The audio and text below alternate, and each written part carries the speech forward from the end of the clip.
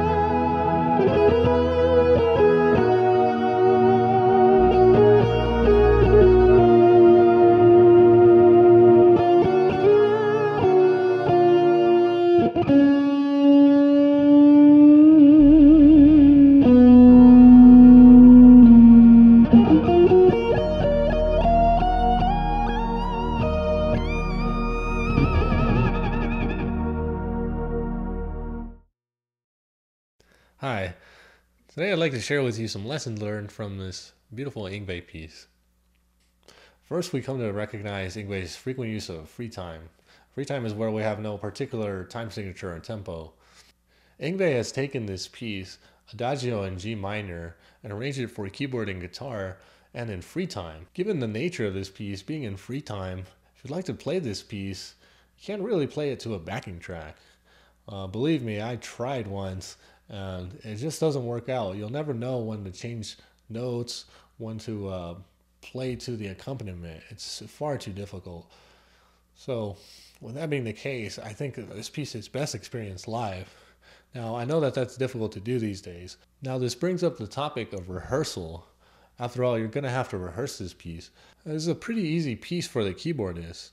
However, you do have an important job you're going to have to let the guitarist take the lead and follow along. With that in mind, you're going to need to use your visual communication to communicate with your guitarist to know when he's going to be changing notes, when you're going to need to change chords. A rehearsal setting is really a great time to be able to experiment with this piece and to be able to make mistakes. But along the way, you'll be building chemistry with your guitarist and to know kind of their, their tendencies and how they like to interpret the piece.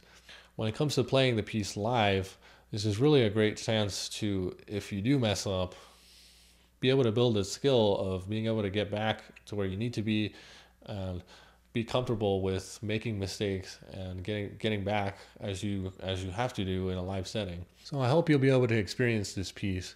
It is my personal favorite Yngwie piece, and it's not too hard to play on guitar. You can always change some of the leads to make them easier to play and still get a great sense of the melody and the overall feel of the piece. So I really hope you'll be able to experience this piece, be able to appreciate Yngwie's use of free time. This isn't the only piece that Yngwie uses free time in.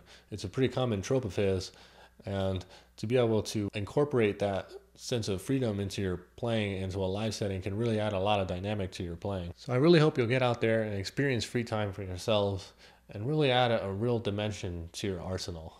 Hey guys, so as the guitarist in this particular song, I'm actually in control of the melody and therefore I control the overall flow and direction of the song since there is no time signature. Since I'm in control of the melody, I think that's what makes this piece so fun to play live, especially because I'm free to interpret it the way I'd like. I can speed up, I can slow down, or I can really focus on playing it the way I feel it and see it in my head. Now, one tip in particular that I'll share with you guys, especially when it comes to interpreting this piece in particular, is to really bring out all that sadness and emotion that's in this melody.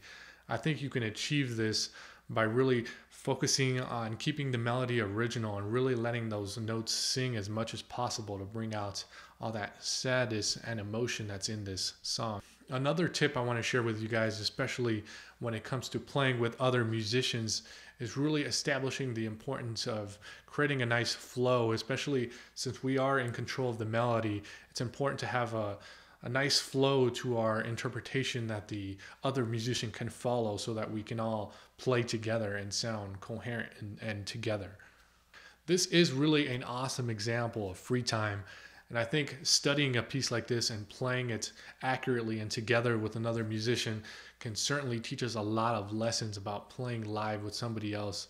Anyway, that's it for today, guys. If you liked the video, leave a like, subscribe, and we'll see you in the next video.